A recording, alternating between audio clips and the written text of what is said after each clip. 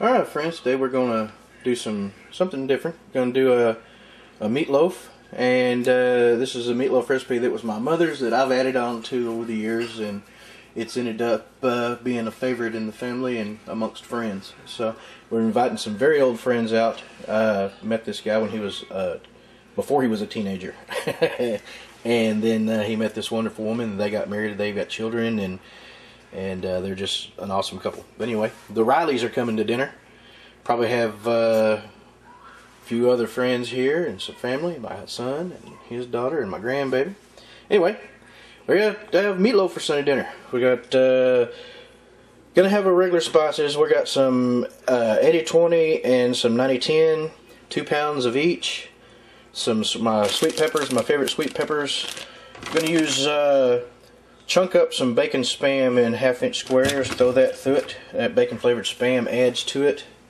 Uh, and then for our binder, with along with the eggs, we're going to use wavy potato chips. You can use the generics if you want, but about about about a cup for every two pounds of meat. So two cups of crunched up potato chips. And our sauce. Uh, this is my mother's sauce with a kick. So Get uh, your favorite ketchup, some mustard, uh, brown sugar, and I'm going to use Cholula chili lime.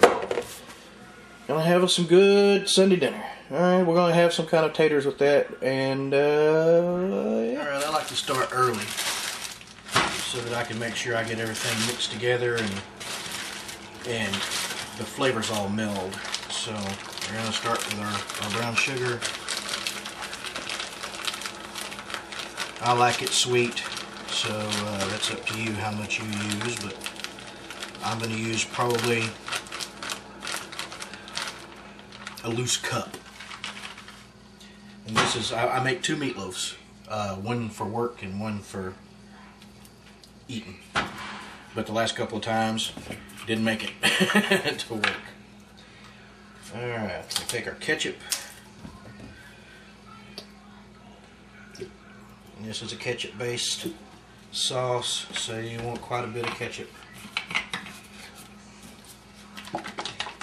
Mustard.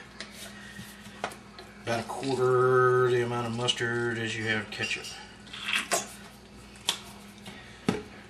And then your hot sauce.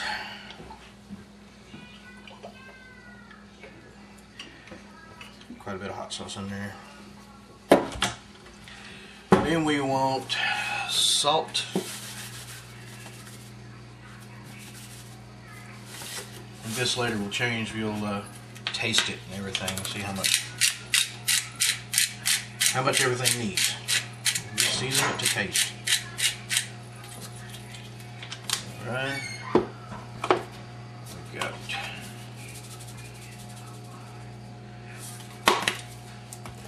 spice we stir it up.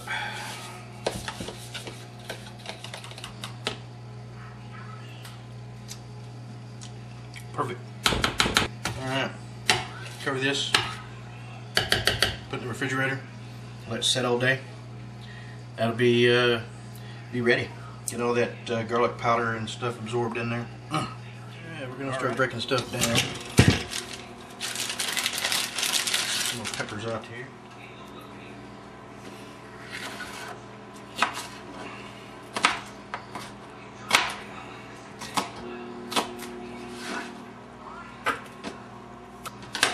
Get these broke down and uh, cut our spam up. I'll show you how to do that. Uh, we'll get right back with you. Alright. Potato chips.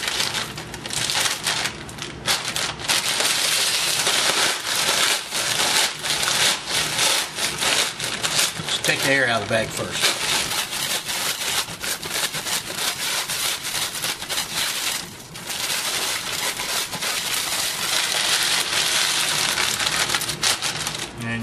Up there.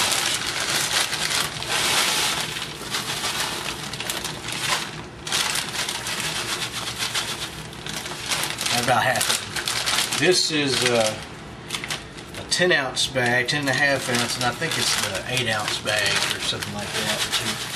But you get it at Sam's, get the wavy ones or the rigid ones, whichever, they're the same thing.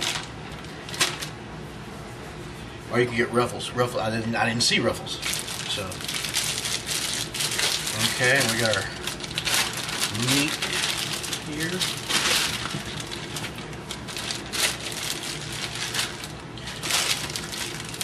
This is 80-20.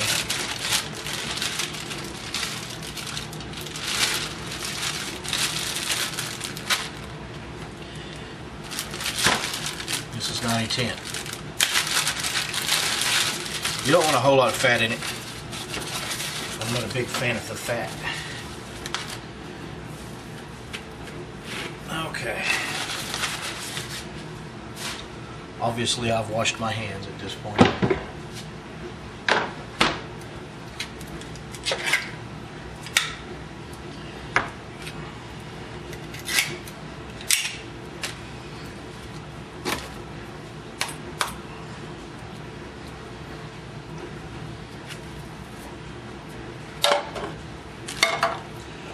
All right. Cut them in about half inch thick slices.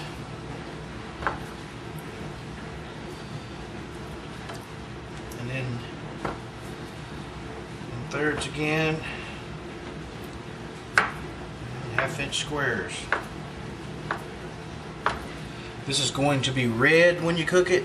That's going to be brown when you cook it. When you cut through it, you'll see squares. Good stuff. Alright, we'll get this chopped. Get all that in there. Talk to you a minute. By the way, bacon flavored spam. I don't know if you uh, if you have ever tried that, but it's good stuff. Bacon makes everything better.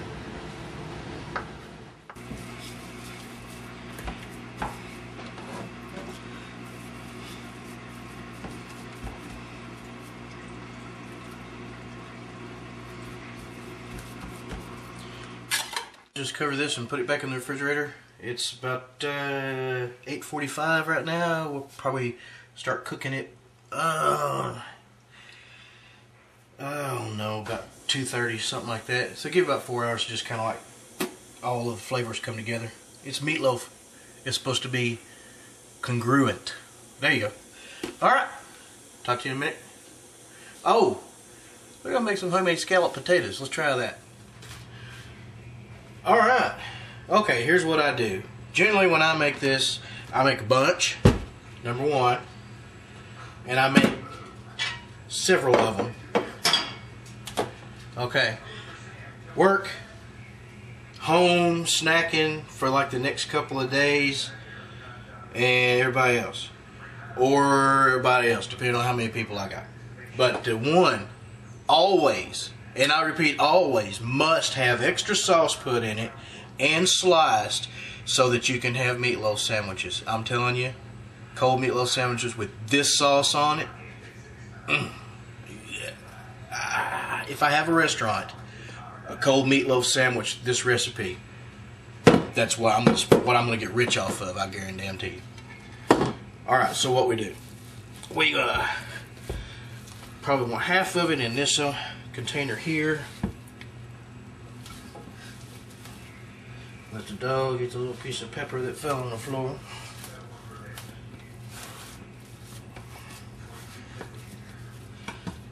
Alright, this will shrink while you're cooking it.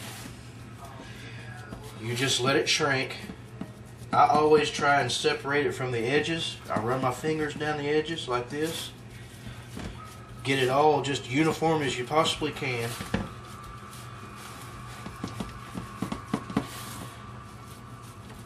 Alrighty. Like that. You see how the edges are?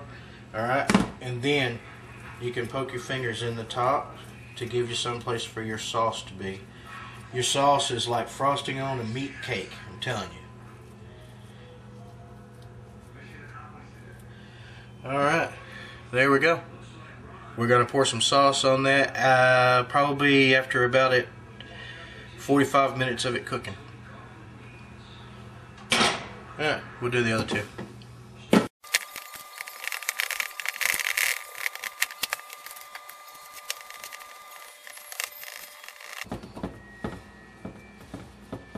I want to thank my mama for cooking like she did because if she didn't cook the way she did, I didn't have my aunt, that cooked the way she did, I never would have cared about nothing that tasted like anything. I'd have just been sucking back burgers my whole damn life, and I wouldn't have gave a shit.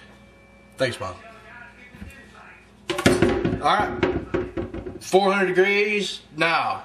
We call it 350 for 30 minutes. Drain the damn grease out of it. Cook it another 10 minutes or so. Drain the grease out of it again. If you're using 80-20, that's why I use 90-10. If you're using 80-20, you want to get that grease out of there. It'll shrink quite a bit. Then you pour your sauce in there and let that cook another 30 minutes or so. And that sauce will thicken up and that will be badass. There you go.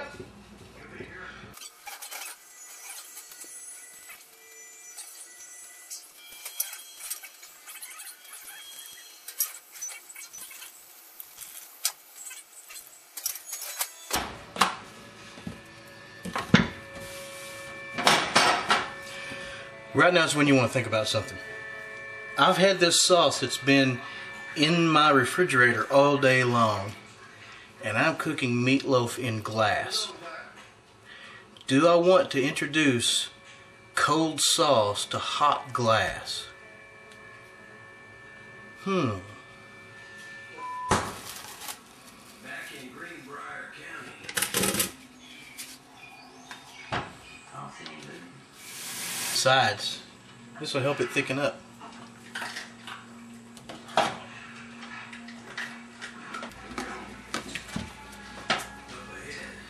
Alright, we just drain. When I get that.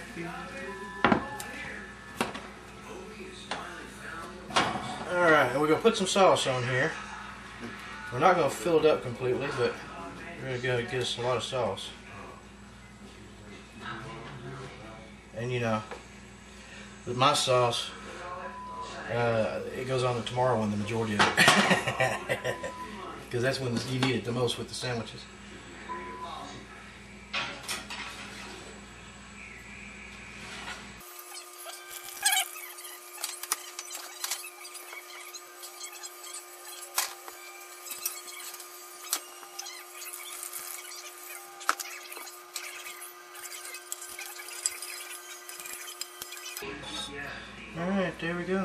Sauce in there. Get it down to fill the voids. Make sure it ain't gonna boil over on the side. We don't want that to happen. And burl it. Burl it in there another 20 minutes or so. And if it's me, I let my damn meatloaf. I let it loaf for a while before I eat it. I let it cool off about halfway to room temperature, probably where it's still warm, but it ain't hot. We got it going on. We got our taters done. We got our meatloaf cooked. Let's plate this shit up. Let's see here. Get our beans out. Get ourselves some beans there. Go ahead and get us some taters. And some company.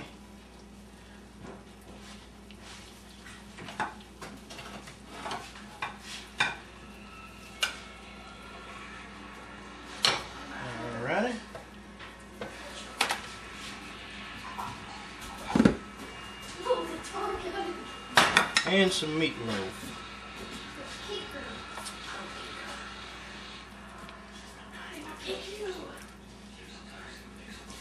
All right.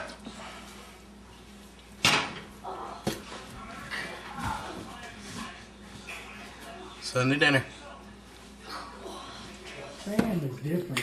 That's a different touch. The spam is something Terry came up with. We called this Mike and Terry meatloaf forever hmm. because it sounded like a disease. Mike and Terry. All right, there you go, friends. There is your uh, Sunday dinner. We got the scalloped potatoes. We got uh, what I call Cavender's green beans and uh, Mama's meatloaf. What do you think, boy? Is it good? Enjoying it? Discretion? Like it?